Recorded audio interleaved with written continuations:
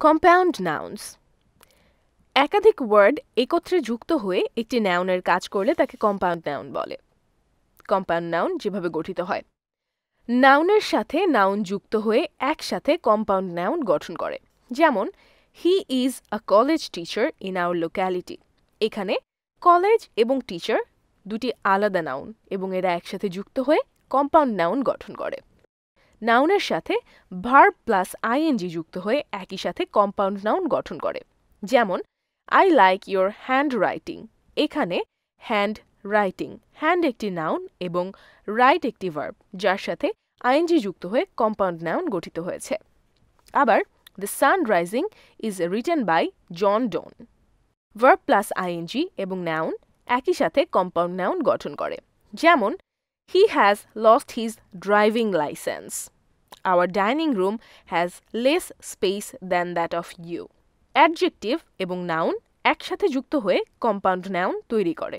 যেমন I want to buy some monthly tickets প্রেপোজিশনের সাথে noun যুক্ত হয়ে একত্রে কম্পাউন্ড নাউন গঠন করে। যেমন the downstairs of the building will cost a lot I will go to the capital using bypass the building has a nice underground I usually take a nap in the afternoon. The criminal is very popular in the underworld. Noun O verb পাশাপাশি বসে একসাথে compound noun গঠিত হয়। যেমন came sat down and took his meal at sunrise again his haircut excites my লাফিং ভার্বের সাথে noun যুক্ত হয়ে কম্পাউন্ড নাউন গঠিত হয়। যেমন the plane fall in accident at the runway নাউনের সাথে অ্যাডভার্ব কিংবা পার্টিকেল যুক্ত হয়ে একসাথে কম্পাউন্ড নাউন গঠন করে। যেমন the passers by will join with us recently of ফ্রেসের পূর্বে পিস কিংবা স্লাইস ইত্যাদি যুক্ত হয়ে কম্পাউন্ড নাউন গঠিত হয়।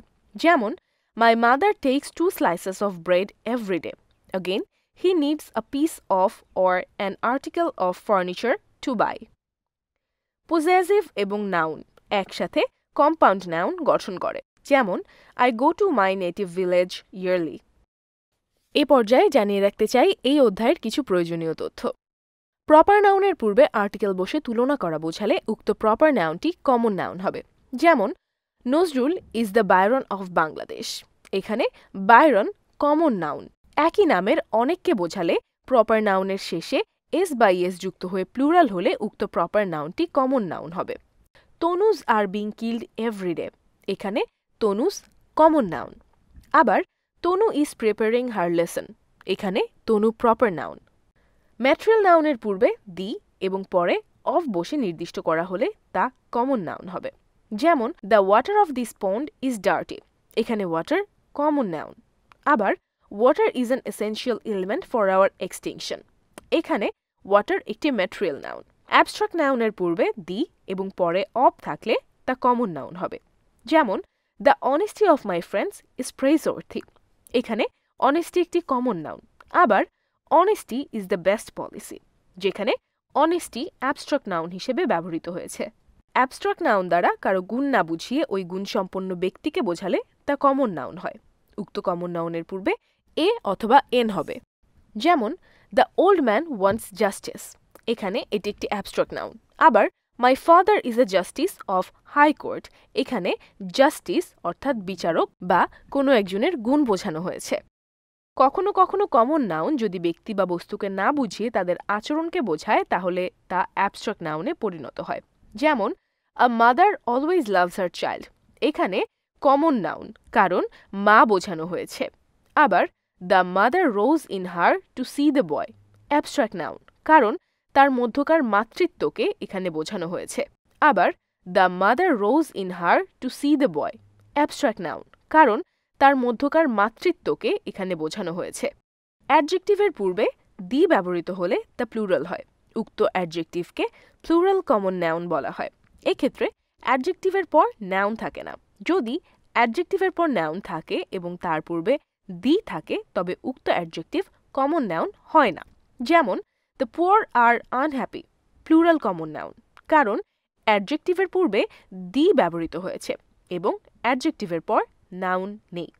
আবার I like the poor people of our country এখানে প্লুরাল কমন নাউন নয়। কারণ অ্যাডজেক্টিভের পূর্বে দি থাকলেও তারপরেই নাউন আছে। এক নজরে পজিশনস অফ নাউন্স ডিটারমাইনারের পর কেবল একটি ওয়ার্ড থাকলে তা নিশ্চিতভাবে নাউন হয়। একাধিক ওয়ার্ড থাকলে শেষেরটি সেক্ষেত্রে নাউন হিসেবে গণ্য করা হয়। এখানে হোয়াইল একটি নাউন ডিটারমিনার এবং প্রেপোজিশনের মাঝে একটি ওয়ার্ড থাকলে তা নাউন হয়। যেমন this is the go of the day এখানে গো একটি নাউন প্রেপোজিশনের পর একটি ওয়ার্ড থাকলে তা নাউন হয়। একাধিক ওয়ার্ড থাকলে সেক্ষেত্রে শেষেরটি নাউন হিসেবে গণ্য করা হয়। যেমন প্লিজ হ্যান্ডেল উইথ কেয়ার এখানে কেয়ার একটি নাউন মডিফায়ার এবং প্রেপোজিশনের মাঝে একটি ওয়ার্ড থাকলে তা নাউন হয়। যেমন দ্য জাজ has the final say on the sentence এখানে সে একটি নাউন। সাবজেক্ট হিসেবে নাউন হয়। For example kindness is a virtue এখানে কাইন্ডনেস নাউন হিসেবে কনসিডার করা হয়েছে। অবজেক্ট অর অবজেক্ট কমপ্লিমেন্ট হিসেবে নাউন হয়। যেমন হি ওয়ান্টস আ পেন এখানে পেন একটি নাউন। অ্যাডজেক্টিভের পূর্বে, দি বসলে তা কমন নাউন হয়। যেমন the poor are always dominated এখানে পুয়ার একটি কমন নাউন এছাড়াও বিভিন্ন সাফিক্স এছাড়াও বিভিন্ন সাফিক্স দেখে নাউন চেনা যায়। যেমন ই আর ই আর দিয়ে গঠিত কিছু words teacher speaker Londoner player singer E double S lioness waitress E double T E kitchenette I S T dramatist extremist scientist chemist. ISM Heroism, Communism, Patriotism, Socialism. E Employee, Payee. ANT